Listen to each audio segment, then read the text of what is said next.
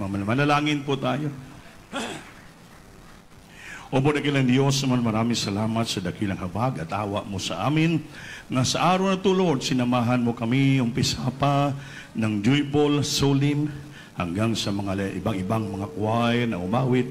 Salamat sa matamis na presensya that you inhabit our precious Lord. Salamat nakarating si Drumbaya, Miss Pipisyo, pagpupuri sa araw to Diyos, hallelujah. Kaya binadama mo sa amin, pinalasap mo sa amin ang katamisa ng iyong presensya. Thank you so much, of course, to the first leading prayer of our dearly beloved noble evangelist, Tulis Almeida. Thank you so much, Lord, that you bless me part of this servant until now, this moment, my God, I bless you, God, to please and noble servant to live in love and message to the brethren and I bind the power of darkness, di mong sin hindrance, sense ang milipandas, kas atomas, in Jesus' name, Amen. Praise the Lord. Hallelujah. Everybody say, Praise the Lord.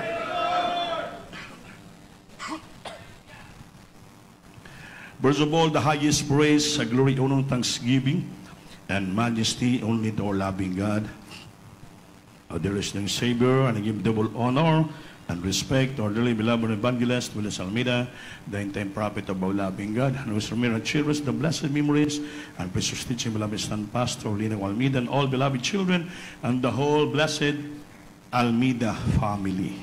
And guess to my beloved wife, my children, my co-workers, my corporate sirs, and salain niyo po lahat, uh, beloved mga brethren, sa lahat ng bisita, mga baguhan, newcomers uh, dumalo ngayon at sa lahat po ng mga webcast viewer natin na naon sa buong daigdig at ipinapaabot ko po sa buong daigdig sa lahat ng mga ama.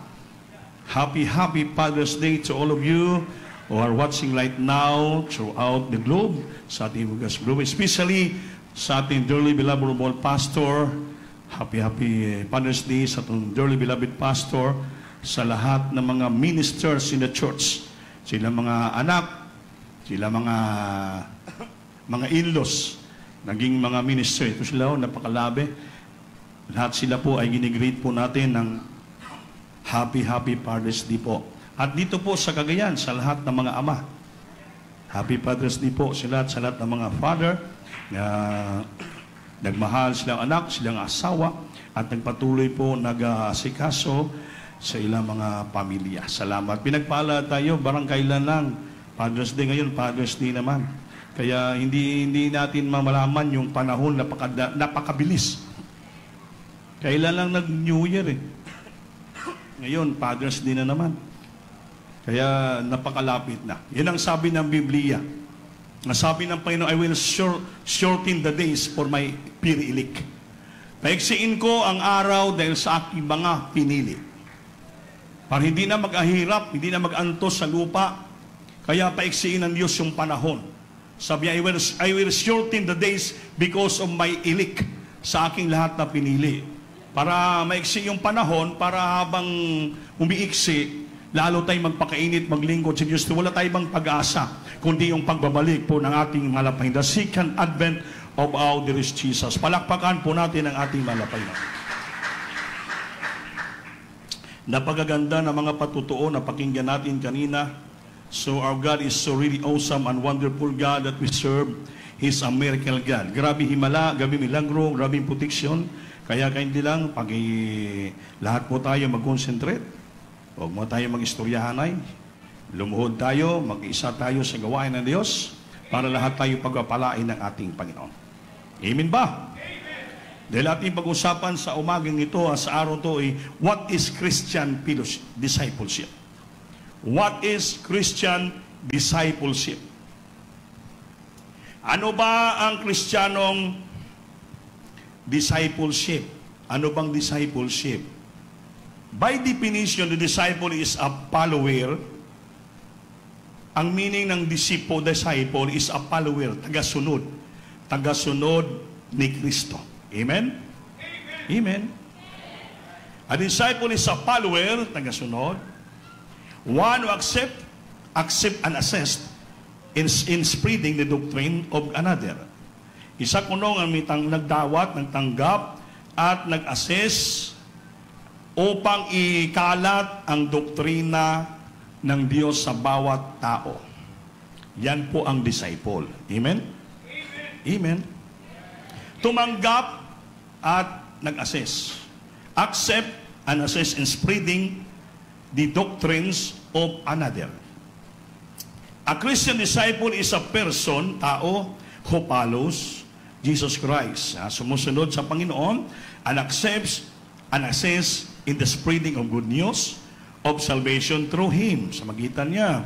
So Christian discipleship is a process by which disciples grow in Lord Jesus Christ and are equipped by the indwelling Holy Spirit to overcome the pressures and trials of this present life and become more and more Christ-like.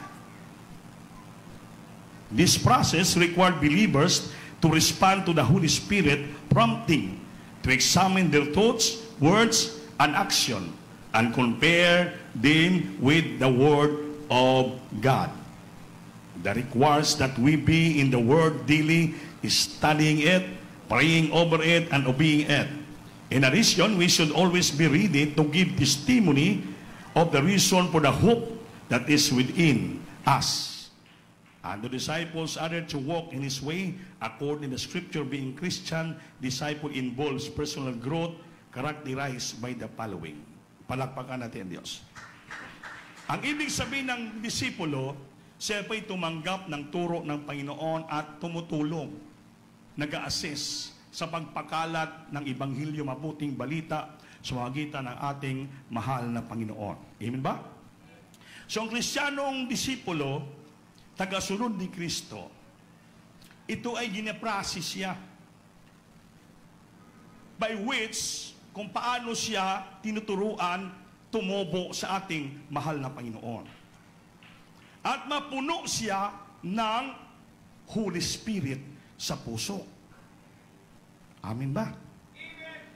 Upang ma-overcome, mapaglabanan niya ang mga pressures. Yung mga pressures dito, trials, mga pagsubok dito sa ating present life ngayon o become more and more Christ-like para sa tuwing na maging mag, para maging makuha pa rin natin lumakad na para maging katulad tayo ng ating mahal na Panginoon. Amen ba? So this process requires believers to respond the Holy Spirit, prompting to examine their thoughts. Itong proseso kailangan sa mga manampalataya na sila pa'y sumunod response the Holy Spirit.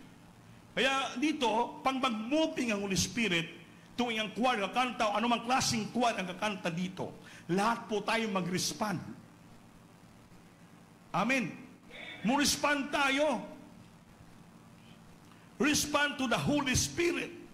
Kaya lahat po tayo, mapuspos tayo ng balang Espiritu. Upang sa ganon, ang Holy Spirit ang mag-examine sa ating mga pag-iisip, sa ating mga salita, sa ating mga kilos. At ito'y kinocompare na makita natin kung pinamumuhay ba natin yung salita ng Diyos sa ating buhay. So, kinakailangan sa salita ng Diyos, araw-araw mag-aral po tayo. Amen ba? required that we be in the Word daily. Araw-araw kayo dito sa pasural, araw-araw kayo nagbabasa ng Biblia. O iba naman, parang ginamemorize na lang, wala sa buot ang pagbabasa. Kaya dapat, importante ka disipulo ka ni Kristo, follower ka ni Kristo, tagasunod ka ni Kristo, tinuturuan tayo ng ating Panginoon. That's why, kinakailangan po natin ang salita ng Diyos ay ating pag-aralan ito. Studying it, pag-aralan natin, praying over it, manalangin, ipanalangin po natin, at ating sundin, obeying it. Upang sa ganon, maging ready po tayo sa mga testimony upang mabigay ng rason sa mga tao na sila lahat magkaroon ng tamang pag-asa sa ating mahal na Panginoon. Everybody say, the Lord. And disciple others to walk in His way. Kailangan ang kristyano, ang disipulo, tinuruan ni Kristo, lalakad po sa tamang landas. Katulad sa mabasa natin sa banal na kasulatan. Amen ba? Kaya yung maging disipulo, hindi po basta-basta. Hindi po matanggap ito, ngayon ka lang bautismo, Di naglingkod ka, naglingkod ka, sumasamba ka, it takes 5 years, 10 years, 20 years. Hindi po basta-basta ang kristyanong maturuan maging disipulo. Nga talaga lalakad ka, lalakad ka ng maayos para sa kalooban ng ating mahal na Panginoon. Eh, meron dito, sampung taon na naglingkod, 30, 31 years na sa kagaya ng gawain dito. Next year, maging 32 na, tama ba? Iba dito, Kristiyano, ganun pa rin. Hindi pa rin makita yung tunay nga pagdisipulo nga inaralan, tinuruan ng Panginoon. Bakit yung paglilingkod nila on and off? Alam niyo yung on and off? Nintindi niyo yung on and off? Yung sasamba ngayon, bukas hindi na. Yung iba dito, sasamba lang every Holy Supper. Yung iba, na, iba naman, sasamba lang twice a month. So, ibig sabihin, hindi pa nila talaga nakuha yung totoong aral ng Diyos na sila ay maging tunay nga disipulo. Kasi pag Christian disciple ka, you are the follower of Christ. Tagasunod ka ni Kristo dinilisar mo paragi na madamang presensya ng ating mahal na Panginoon. You accept the teaching of the Lord and then you assist. Mag-assist ka na, tuturo ka na, tuturo ka na, mag-share ka na, maging ehemplo ka ng ibang Kristiyano to others so that they became real disciple of Christ. Maturuan din siya ng ating Panginoon. Hindi po tayo naging pasaway, kundi tayo tagaturo, naging modelo po tayo sa ibang Kristiyano to others Christian. Dahil bakit lahat po tayo, we accept already the teaching of our Lord and we must to do it and assist to every other Christian. Naintindi nyo ba? Ngayon, kung tinanggap mo yung turo ni Kristo, hindi ka pa mag-assist sa iba, ay hindi ka patunay nga Christian disciples. Because definition, disciples is a follower of Christ, one who accepts and assists in spreading the doctrine of another. Doctrine of another. Amen. Pero pag mag-istorya ng ginto, mabilis tayo mag-spreading sa likod. Amen? Magginto pag-usapan. Mabilis, daming may istorya sa likod. Brad, ilang milyon na? Ilang barita na? Ah, bigyan mo ko ng share, Brad. Ha? Madali mag-spread up. Pagginto ang pag-usapan. Pero pag doktrina sa Diyos, hindi natin maipakalat sa ating kapwa. Kuminsan magkatisurain pa tayo. Magbinantayanay pa tayo. Maginusgahanay pa tayo. Magpagalingan pa tayo. So if you are the disciple of Christ, a follower of Christ, all the teaching of Christ will accept from, you accept from your heart. Then you know how to assess somebody. Naging example ka sa kanila. Amen ba? Hindi basta-basta eh. Katulad dito sa church, nagikinig ba kayo? Siya na kayo. Makatitutulan ko. Ito po, sa lahat sa Pason House, marami mga workers. Pero hindi lahat ng mga workers naging preacher. Iba-iba ang aming mga gift. Naging workers sa gawain ng Diyos kasi ang worker, ang pastoral house, ang church, kailangan may buo nga sangka po yun. Hindi man pwede puro preachers na lang. Eh kung puro preachers na lang, wala na maglinis ng sahig. Kasi pag preacher, mayabang na yun eh. Ay, preacher ako, bakit palinisin mo ako? Pero dito, glory to God lang. Mga preachers dito, naglalampaso ng stage. Yun, ibig sabihin, naturuan tayo. Naging tunay nga, follower of Christ. Amen. Nagluluto. Nag-aaris ng bangko. Nag, nag, lahat. Nag, nagbubuhat. So, ibig sabihin, kahabagan sa turo ng mga pastor, naging nakita namin yung reflection as being a true disciples of Christ.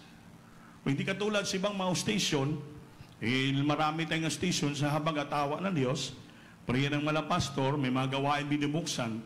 Kaya kulang yung mga manggagawa.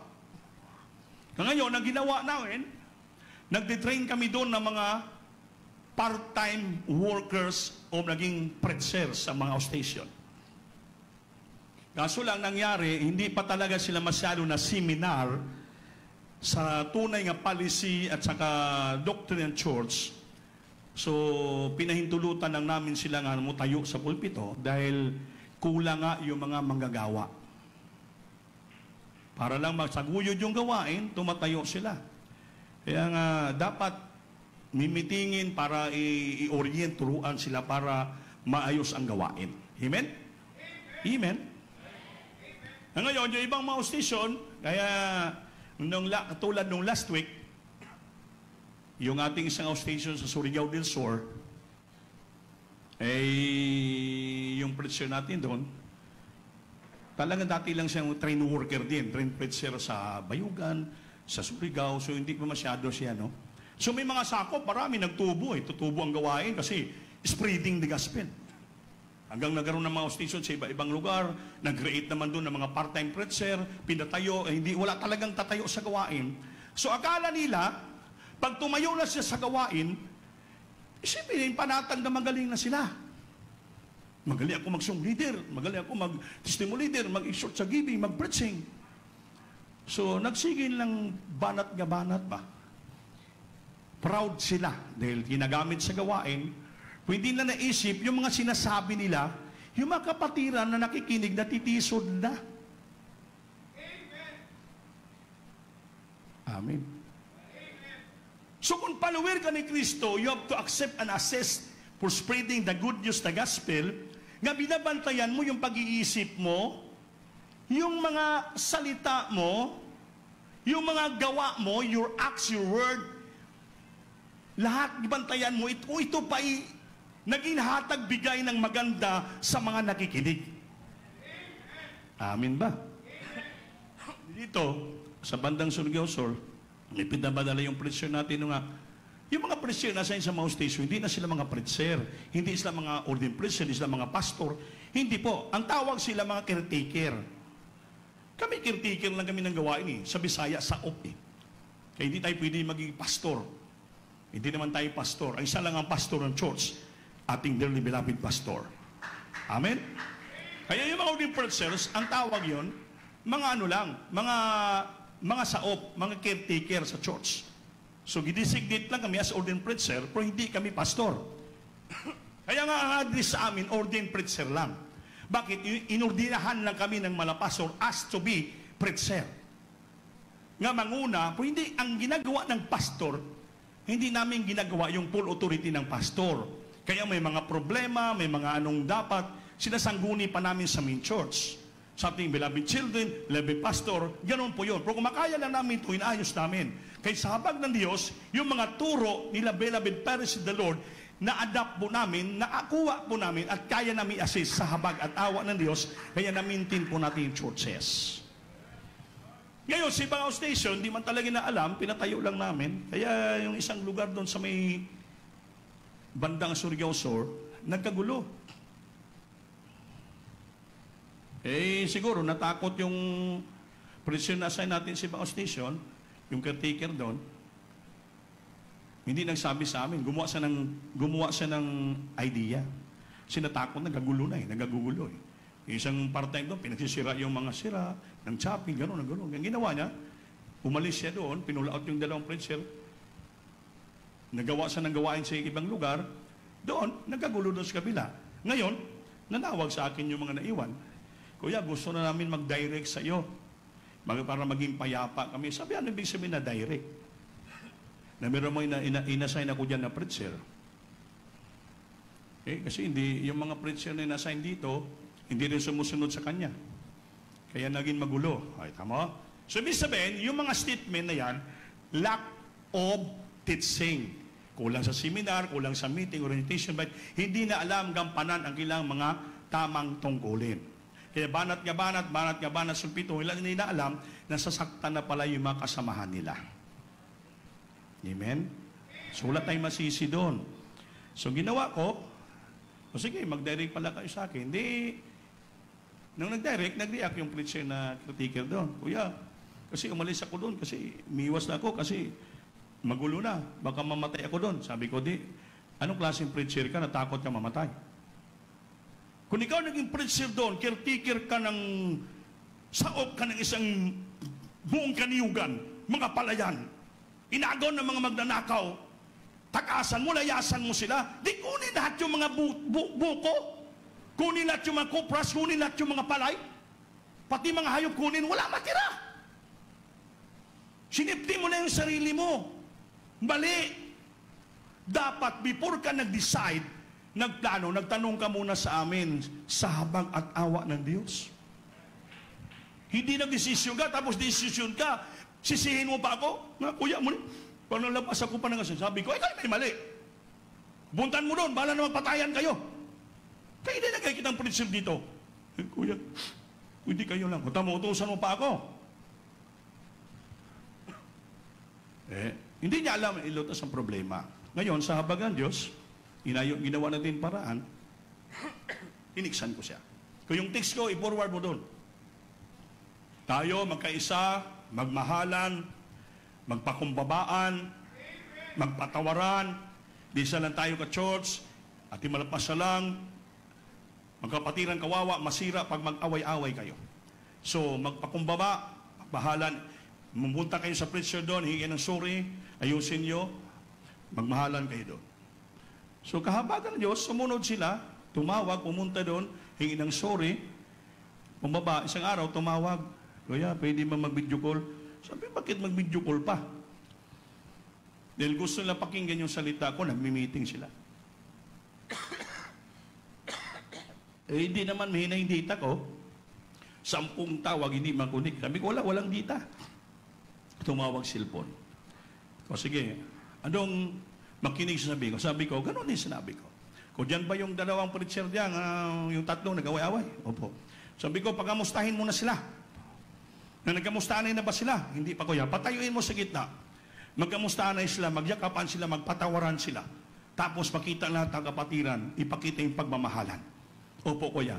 Andiyan na ba? Opo, nag-iyakan na sila. Salamat. So, ipag-pray. Pag-pray natin. Ganon lang kasimple sa pag-ataw Diyos. Ngayon, na-reconcile na sila. Sabi, may gawain naman ito sa kabila, may gawain sa kabila, ito na lang. Pag hindi kayo mag-away, magulo, iba. Ang gawain nyo sa kabila, Merkulis at Sunday. Sa kabila, Friday at saka Sunday. So yung taga-kabila, taga-kabila sa Sambadon, mag-join sila doon sa Wednesday. Yung kabila naman Friday. So, magkaroon tayo ng banding spiritual para lahat tayo ma-revive. Kaya palagi natin, madama, ma-indwill natin sa puso tayong balang espiritu. Ngayon, anong problema? Makinig kayo. Dito natin dalhin sa pulpito. Sa lahat ng mga part-time, mga preachers sa galabas, nag-atasan kayo namin para walang gulo sa gawain, walang matitisol, walang malamig, walang mamugnaw, para ma-respite ang kapatiran sa gawain, dapat sumunod kayo sa standard ng church. Kung mag-MC ka, pinakamahaba mong MC salita, 3 minutes lang. Kasi MC ka lang naman eh. Everybody say, Pastor Lord, Manalangin po tayo. Oh, basa ka ng versikulong dalawa. Clap your hands. Shout. Tapos na. 3 minutes. Wala pa ganun tapos 3 minutes. May 3 minutes na. Wala, wala pa no? O wala pa. Imsi ka na. May kaayusan. Sabi niya, may kaayusan. Amen? Oh. Di, hindi maburing yung kapatiran. Kasi nangyari sa Surigao, mga pastor yun, natritarian. Yung isang preacher, pina-MC ko, basta. MC pa lang ha, Nagulat ako, naligo na ako, nagsabon na tapos. Di pa natapos. MC pa lang. Mga minamahal! MC pa lang, nag-preach na! Grabe. Kasi pastor, ayaw magpatalo. May, mayaan ko lang. Ito na. Yung testi, pastor ng testimony leader. Eh, klaro na yung testify ng kapatira na binagali ako sa akong cancer, leukemia, binago ko, pinagpala ako. So, sa pray naman na pastor, salamat sa Diyos. Amen. Ang lahat ka po rin sa iyo. Tapos na, klaro na. Sus, pinalo pa. Yung mga minual, may cancer siya, may leukemia, grabe, pinagali ng Diyos, grabe, pray naman na pastor. Dinagdagan pa. nung dinagdagan, imbis kay 5 minutes na, naging 10 minutes na. Yung ibang kapatira, nag-uwian na. Sabi nila, dak-dak man nga pastor. Chismuso man. So, masira ang church. Amen? Wala sa kayusan. Exhort sa giving. Nako, ito na. Exhort sa giving, terrible. Di basta-basta. Sampo ka bersikulo, giving. Nag-Bible study na. Mao, natapos 15 minutos. Kung anong pinagsasabi, mga itlog, mga manok, tanang, talong, hanggang kapatiran, hindi nagiganahan maghatag. Kay nasubrahan ang exhort sa giving. Wala sa kayusan. Amen?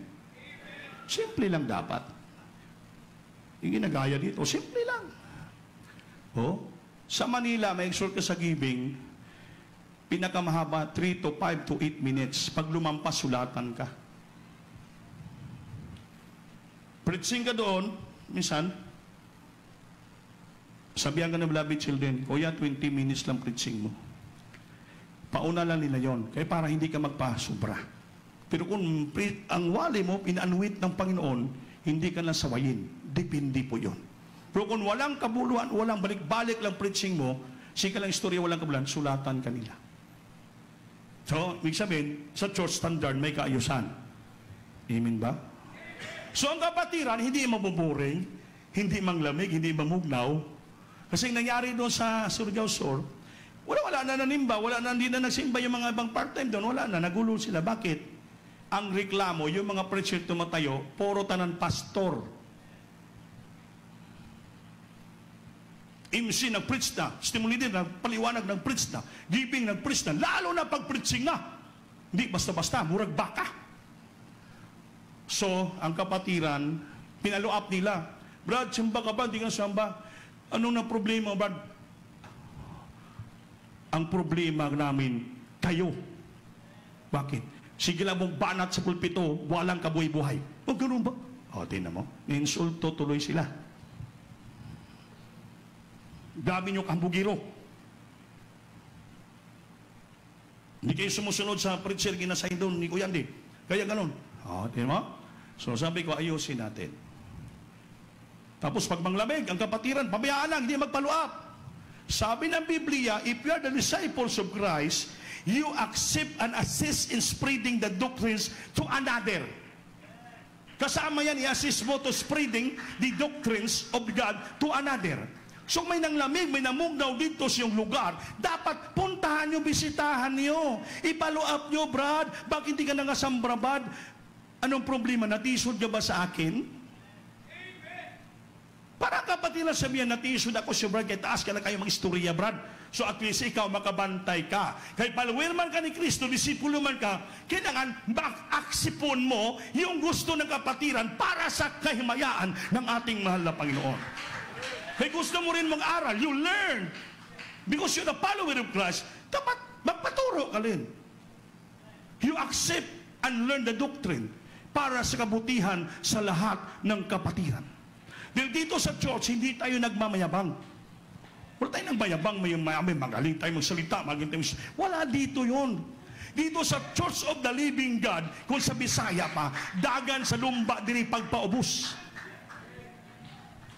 takbo sa takbuhin na pagpakumbaba. Bawa sabihin, mama, simple lang ka na mga istorya, pero yung katut kapatira natutuwa sa'yo.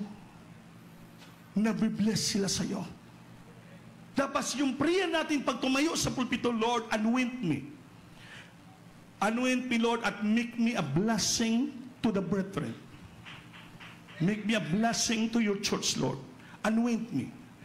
Takpan mo ako ng iyong kapangyarihan, banal nga dugo, presensya, hindi po aking sarili ang makikita. Di kung magsalita tayo dito, wala nating introduce ang ating sarili na tayo po'y magaling, we're a good preacher, we're a good speaker. Hindi po. Ang introduce natin dito, ang salita ng Diyos, ang purong-puro salita ng Diyos. Na parang kapatiran, madasig sila. Palagpakan natin ang Panginoon. Kaya kailangan natin yung process. The process requires believers to respond to the Holy Spirit. Kailangan magluhod ka. Mapuspos ka sa luhuran mo. Sa baba, mapunuan ka sa presensya. Ianuin ka ng ating malapaynoon.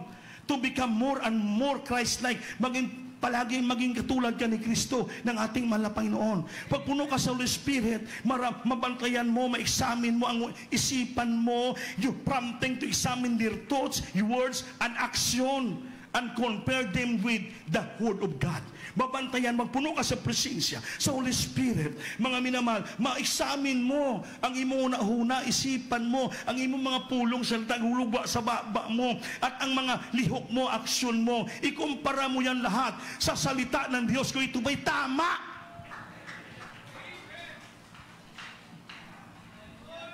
Amen ba? Amen? Ngayon, naturo na natin. Ngayon doon, okay na sila. Nag-tease naman yung wife niya, Ate ne, ano bang dapat ko gawin dito sa mga choir member doon sila ka-station? Bakit? Kasi kung gusto nila magbaba, mag-inhinto sa pagkwar, ayaw nila. Kung gusto na ba nila magsampa, gusto nila. Kung gusto magpaputol ng buhok, gusto nila. Sabi ko, kasi wala pa sila naturuan ng tamang palisi sa church at doktrina. Kaya akala nila, tama yung gusto-gusto lang. Hindi pa naturuan. Kaya turuan natin sila. Kaya magkaroon tayo, maggawa tayo ng mga seminar, mga general assembly, from the preachers, from member, adults, lahat, turuan ng policy. Para malaman, kaya alam na nila yon malaman na nila, hindi pala basta-basta na sasampa ka lang magkwar, kung ayaw mo na, hindi ka na magkwar, hubuin mo yung uniforme mo, gusto mo magpuputol ng buhok, pwede lang, gusto mo nagdugtungan yung buhok mo, pwede lang. Hindi po pwede. Kaya may policy ang church. Kaya kung di natin tinuturuan sila, hindi natin sila gawin maging disciples nga paluin ni Kristo, tagasunod ni Kristo, maturuan sila sa salita ng Diyos, hindi po maging maayos ang kanilang paglingkod sa ating mga Panginoon. Hindi natin sila masisi. Bakit tayong sisihin? Dahil bakit hindi natin tinuturo ang tama? Kaya natakot tayo, baka masaktan sila. Dito po, hindi po. Sabi naman ng pastor, hawk or by crook, Take it or leave it. Ituro niyong salita ng Diyos para lahat matuto, malaman, alam nilang dapat gawin sa ikabuti ng iglesia, sa kadasig ng kapatiran, sama-sama tayo. Pagbalik ng Diyos, mapirpikto tayo sa hallelujah. Pag rapture, sama-sama tayo. Walang maiwan, walang nagtampo, walang nagbahay, walang hiubos, walang nasaktan. Lahat sila tuwang-tuwa naglingkod sa ating Panginoon. Bakit? Nagbanding tayo spiritual, puno po ng presensya, naturuan tayo ninyo sa tamang turo na tayo tunay ng disipulo ng ating mahal na Panginoon. Everybody say, praise the Lord. Amen ba? First Peter chapter 3 verse 15, kaya hindi pakibasa. Praise the Lord. Sa aklat ng unang Pedro, Kabanata 3 sa talata ay 15.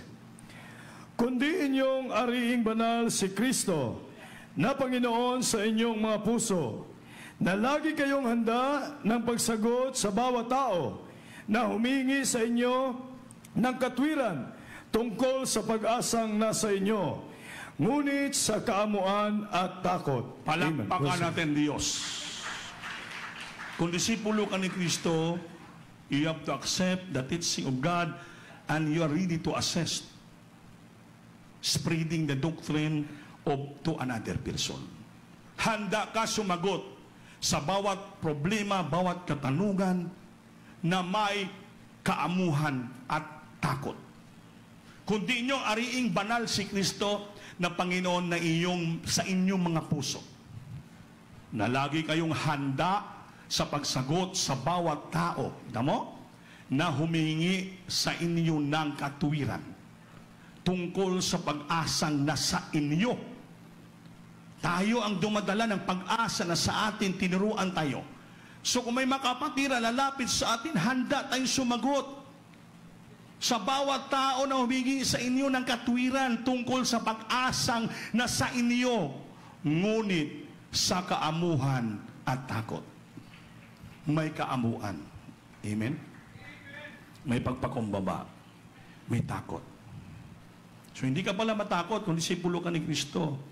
Handa ka na tumanggap ng turo, handa ka rin tumuro sa iba. Amen? Palagpakan natin ang Diyos, mga naman. Everybody praise the Lord. So pag disipulo ka ni Kristo, ang number one mong gawin ay ilagay mo si Kristo sa puso mo sa lahat ng bagay. Putting Jesus first in all things. Ilagay mong Panginoon sa iyo una sa lahat ng bagay. Amen? Putting Jesus first in all things. The disciple of Christ needs to be set apart from the world. Tandaan nyo pa? The disciple of Christ is need to be set apart from the world. Set apart from the world. Lay- Lalayo tayo sa sanlibutan. Our focus should be on our Lord. Amen? And how to please Him in every area of our lives. We must put off self-centeredness and put on Christ-centeredness. Yan ang sinasabi, putting Jesus first on all things. Ang disipulo, tinuruan ng Diyos, kailangan, kailangan ipala- ipalayo natin ang ating sarili sa sanlibutan. Amen? At ipokus natin ang ating isipan sa ating mahal na Panginoon upang mapaluguran natin ang Diyos sa bawat area ng ating buhay. Bless Him in every area of our, sa lahat, every area of our lives. Mapaluguran natin ang Diyos. Wherever you go, wherever you are, in every place, in every area, kilanglan sa ating buhay, kilanglan, mapaluguran natin ang Diyos. Sa opisina mo, sa eskwelahan mo, sa palengke, sa negosyo ka, wherever you go, wherever you are, saan ka mapupunta, sabi ng Biblia dito, bilang Kristiyano, disipulo, tinunan ka ng ating mahal na Panginoon. Palagi lagay mo ang Diyos sa puso mo. Hallelujah. Kailangan maging ano ka, or our focus should be on our Lord and how to please Him in every area of our lives. And we post, and we must put up centeredness and put on Christ centeredness. Ang atong kuno sarili, alisin natin. We must to put up, put up self-centeredness. Alam mo yon? Alisin natin yung ating makas sarili. Yung sarili mo lang bang tama ka palagi? Sila mali na lahat. Alisin natin yan. Kasi kung ang isip mo, ikaw lang palagi tama, you always putting yourself centered in your life. Ikaw lang tama. Kahit mali nang ginagawa mo, mali nang sinasabi mo, ikaw pa rin tama. May, may, mag, may magsabi sa iyo, Brad, mali yan, hindi akong tama. Sabi dito, kung disipulo ka, you must to put up. Alisin mo ang imong sariling centeredness and put on Christ centeredness. At ilagay natin nga si Kristo ang sentro sa puso natin. Amin ba? Eh pag si, ikaw ang ikaw ang sarili mong masunod, ang sentro sa puso mo ikaw, unang salita mo puro ng ako. Si ako. Dati may artista nga si ako eh. Diba? Ako. Si ako. Sabi nga, oh, ikaw nga yan, may problema. Eh, paano yung sa langit? Amen. Ngan sa langit, ang Panginoon, siya man ang dapat mupuyo, manahan sa puso natin. Nga si Kristo maging sentro sa puso natin. Amen. Put on Christ centeredness. Pag si Kristo na sa puso mo, sentro sa puso mo, wala kang pride, wala kang pagka-arugante, mawalang iyong pagka-egoistic, mawalang iyong kayabangan, mawalang pagbilib mo sa iyong sarili. Bakit? Ang Panginoon ang sentro sa buhay mo. Marunong kang magpakumbaba. Marunong kang tumanggap sa aral, turo na tama.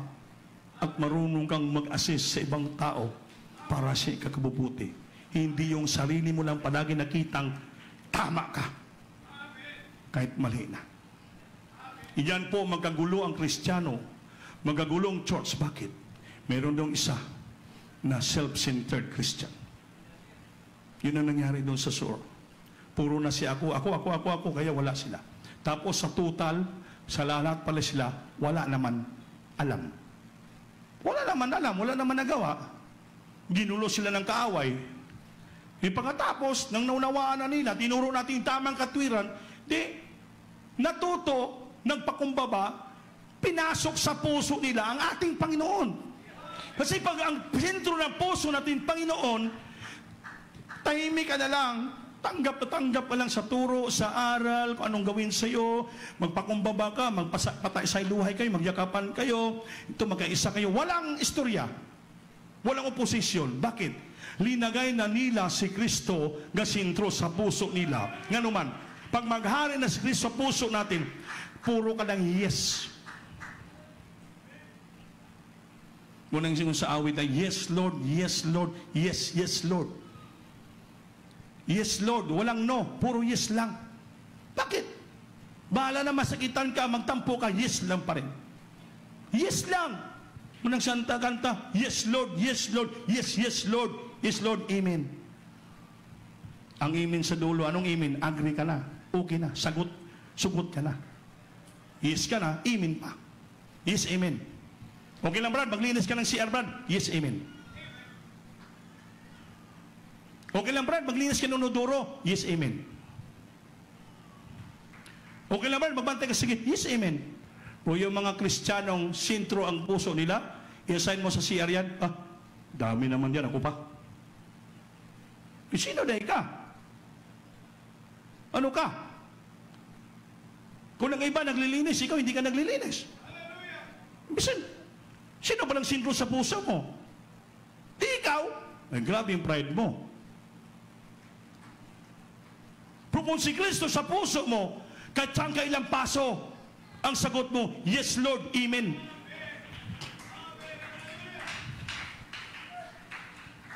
Bakit?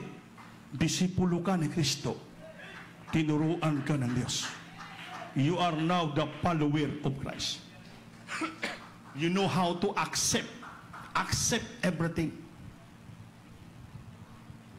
Kaya kung di pa matanggal ang sarili mo sa puso, ikaw pa masunod, hindi ka mag-asinso.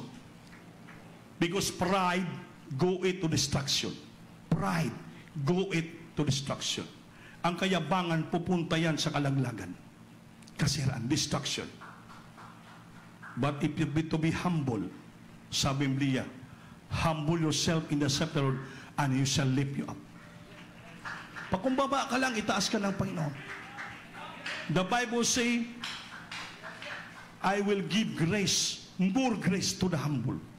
Magbigay ako ng maraming grasya sa mga nagpapakumbaba.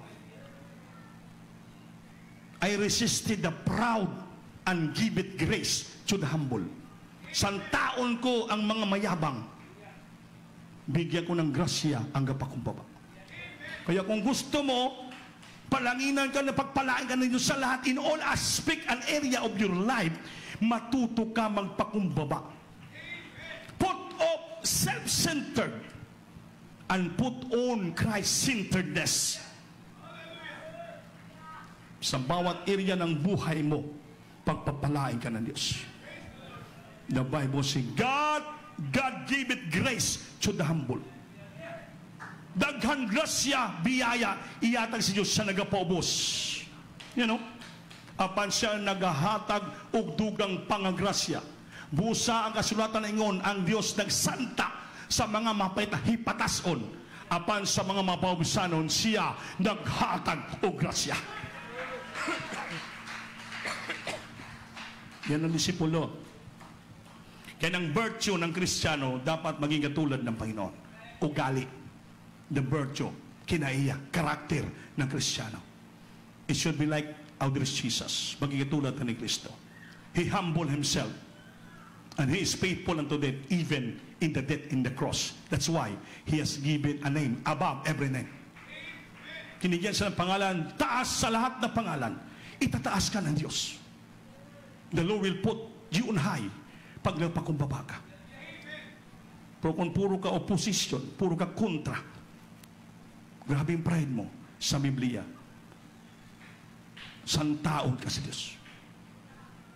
Santaon ka sa Diyos. God resisted the proud, but give it grace and to the humble. Gusto mo grasyahan ka, papalain ka, pakumbaba ka na lang. Yes, Lord, yes, Lord, Amen. Amen. Amen. Kahit wala ka ng pira, magbigay ka pa rin. Kaya bakit? May panampalataya ka, pangumbaba ka. Di alam mo pang magbigay ka sa Diyos, hindi ka kulangan ng Panginoon. Hindi ako magbigay, di wala na akong pera, marami kong loan. Loan-loan, utang. Ipakita mo sa Diyos, kahit marami kang loan, loan, utang. Pero still, ang puso mo humble.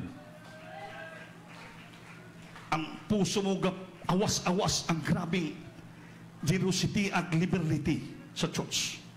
Kaya pag nakita ng Diyos yan sa Biblia, God give it grace to the humble. Grasyahan ka ng Diyos, bigyan ng grasya sa mga nagpapakumbaba. O kung nagmamayabang ka, wala. Wala mangyari sa buhay mo. Yung pamangkin ko, dito, eh gusto sumakay sa barko. Sabi ko, punta ka na sa Manila, ak tulungan kita. Eh, si Kapitan Nick, pupunta doon, tulungan siya para mag-utility. Sabi ni Kapitan Nick, Jay, kung gusto mo magpapalain, magpakumbaba ka. Mag-utility ka, kailangan mauna ka na doon sa opisina. Wala pa yung manager doon, crewing, tuwa ka na, limpyo ng CR, tanan, kumplito ka na, nakasilig ka na doon. Pakita mo para matuwa sila. Hindi pwede matulog-tulog ka, pupunta ka ang report ka sa opisina, nauna pa yung manager sa'yo, at crewing manager. Ipagdating mo doon, sabihin pa ng crewing manager, Hoy, lumokso ka na sa dagat. Kung mapakumbaba ka, lalo ka pagpapalain. Eh, inabihan ko para matulungan. Eh, gabi ka mugiro. Sabi niya, ay, tito, gusto ko masigurado, pagdating ko ng Manila, makasakay na ako. Uy, wala ka pa ganing kay utility. Wala pa malagay yung pangalan mo doon sa opisina kung sino ka. Pupunta ka pa lang eh, gusto mo sasakay ka na. Ay marami masakyan doon, maraming pambuto sa Piasa Ililog, Pasig, Iribir eh. Kung hindi, barko nga pang, pang, pang internasyonal.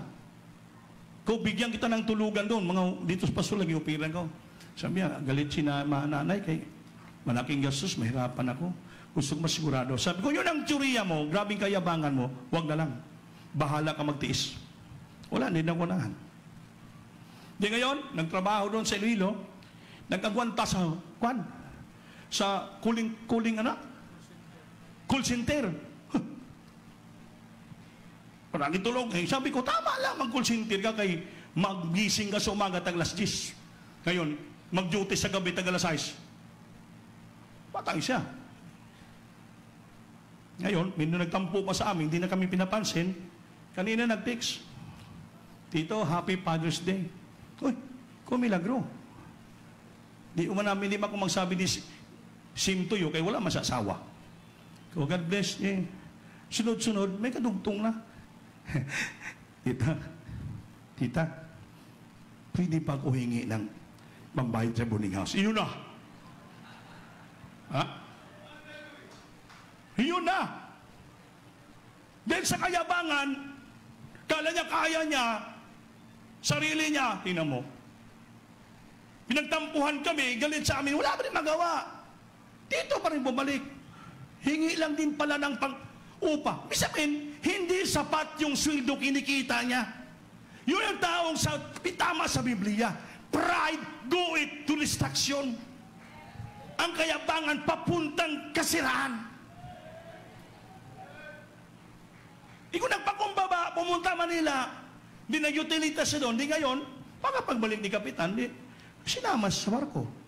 Hayahay siya doon sa barko. Malaking sweldo. Ay, mayapang.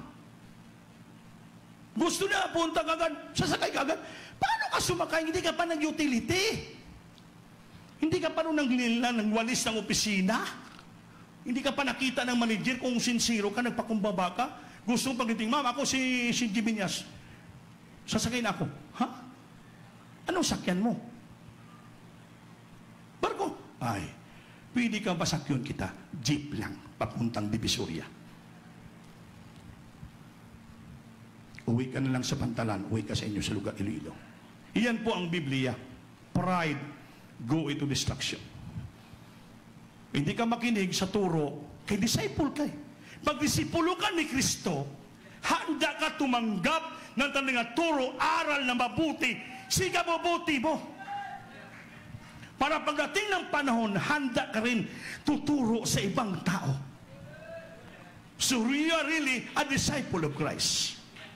Disciple, a follower of Christ. One who accepts and assists in spreading the doctrine to of another. Christian disciple is person who follow Jesus Christ and accept and assist in the spreading of the good news of salvation through Him. Amen? Yan ang kristyanong disipulo. Sunod-sunod ka lang. Pag sabi nito ng practice choir, practice ka. Itong oras, alas 4, dito ka. Yung darating ka dito, tapos na. May paano ka matuto nun? Bilib naman kita kay, ang kabisado ko naman ah. Kabisado mo nga, pero hindi ka sumusunod. Walang problemang alam mo. Alam mo, pero hindi ka sumusunod. Hindi ka sumusunod. You are not a disciple of Christ.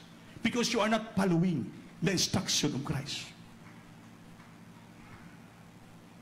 Kaya ngayon, yung preacher sa Agusansor, lahat.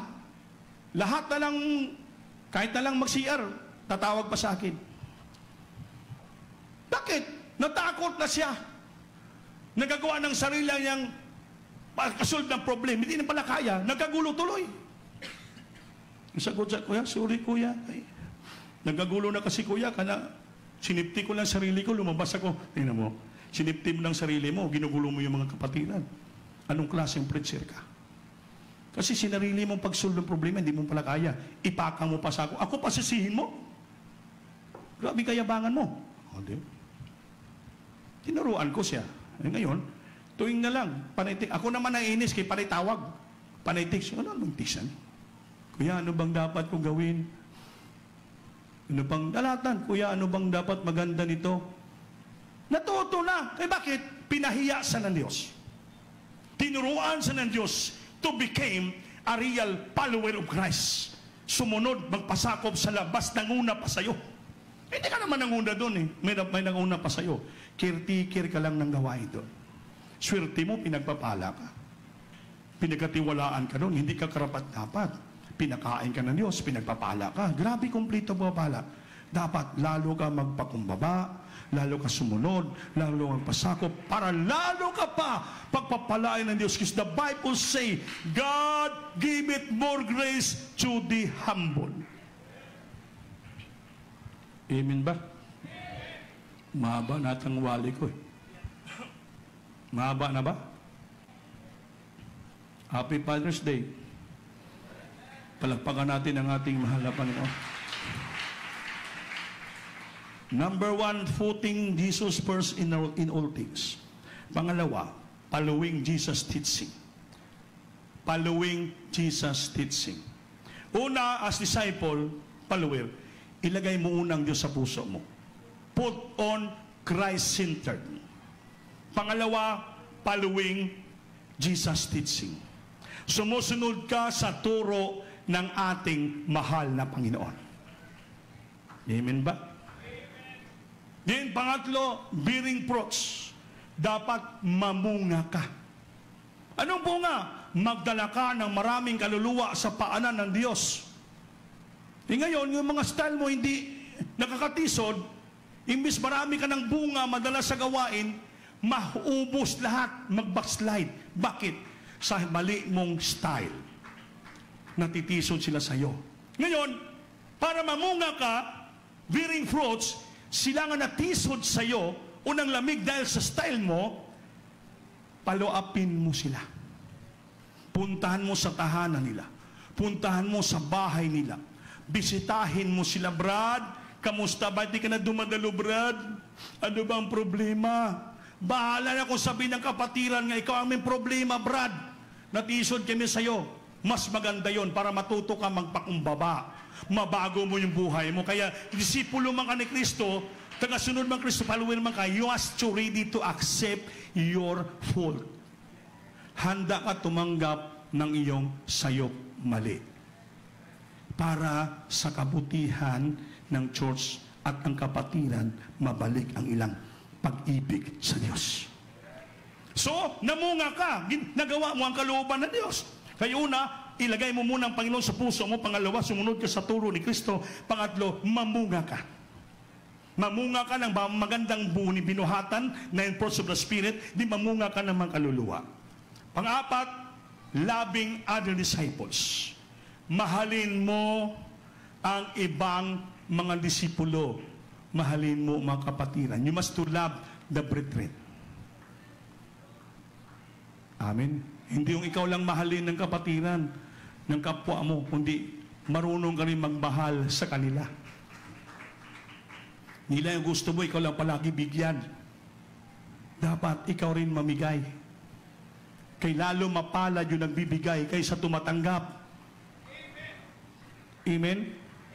Loving other disciples. Matuto ka magmahal sa iyong kapwa Kristiyano. Matuto ka magmahal sa iyong kapwa manggagawa. Matuto ka magmahal sa iyong kapwa choir members. Matuto ka magmahal sa iyong kapwa adult choir. May nag-aaway ba sa adult choir? Nag-aaway ba? Wala man. Wala. Si Rinday Medina, may nag-aaway ba? O ikaw ka pangaway? Matuto ka magmahal sa iyong kapwa. Amen? Matuto ka magbigay tulong sa iyong kapwa. Hindi ikaw lang palagi tutulungan. Pangit yung ikaw lang palagi tumatanggap. Dapat ikaw rin mamigay. Kay mapalad ang nagbibigay kaysa tumatanggap. Everybody say, praise the Lord. Panglima, tapos na. Making disciples to others. Paano mo gawin? Gagawa ka ng disipulo sa iba. Ito na. Yung nakatunan mo, natanggap mo na turo galing sa Panginoon, sa tima ng pastor, sa mga nanguna, ito, ilagay mo sa puso mo, upang pagdating ng panahon, ikaw naman gagawa. Tuturo ka naman sa iba upang magkaroon naman sila ng disipulo galing sa iyo. Amen? You have to ready to assess, to make disciples of others. Sa iba. Kaya mo na magturo. Kaya mo na magturo sa kanila. Kaya mo na silang turuan sa standard ng church, policy of the church, kaya mo na ipakita sa ila. Yun po, mga minamahal. Kasi ang disciples, eh, ready to accept and assess. Kami, tumanggap kami ng turo sa ating mga Panginoon, mga pastor, ito, na-assist namin sa church. Kaya hindi kami naturuan ng ating beloved parents and the Lord, wala kami turo sa inyo. Amen ba? Pero hindi pa sapat yung turo namin. Dahil ang tao, wala pagmayabang. Sabi ng Biblia, sabi ni John the Baptist, ako, ang tao nagdi-decrease, ang Diyos lang nag-increase. Sabihin ng tao, hindi pwede umi-increase. Kaya ang Diyos lang nag-increase. He make it the increase. Ang tao always decreasing. Ibig sabihin, ang tao walang sapat na kakayanan. Ang tao walang sapat na karunungan. We always decreasing. But the Lord is always increasing. That's why the Lord, He's the one who increase. Make it the increase. Siya ang nagapatubo. Siya ang nagapapalangit. Siya lahat nagamold sa atin pang tayong karapat dapat. Dahil ang tao, mahina, walang sapat karungan. We're so weak, but the word is strong in our heart na siya magturo sa atin. From our decreased time, iangat tayo ng Diyos. Kukunin niya tayo, ibangon niya tayo. Pag matuto tayo magpakumbaba, itayo tayo ng Diyos. Ibangon tayo ng Panginoon. Gawin tayo pagpapala ng Diyos to make, do and make disciples to all nations. Amen? Making disciples of others, Dis- disciples multiply one of the last things Jesus said to his disciples before his ascension, before siya mikayab sa langit, was the command to go and make disciples to all nations. Tayo yan, makapatiran.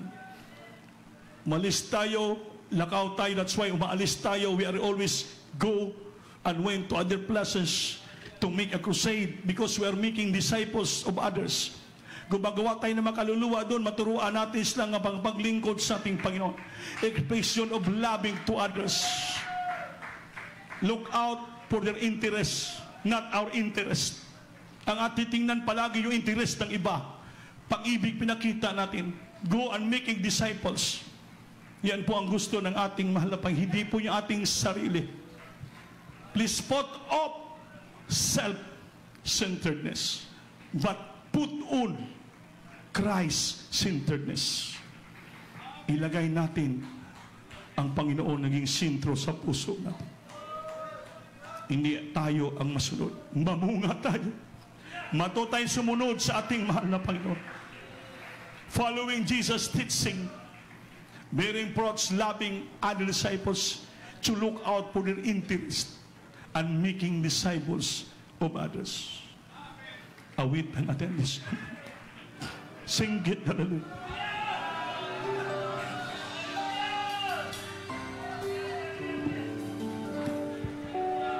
Sikapin mo nga sa oras na to, managay sa puso natin ang banal na Espiritu. As disciples, we must to equip by the indwelling of the Holy Spirit. Mapuno tayo palagi sa presensya ng Diyos sa puso. Singgit ka. From beginning to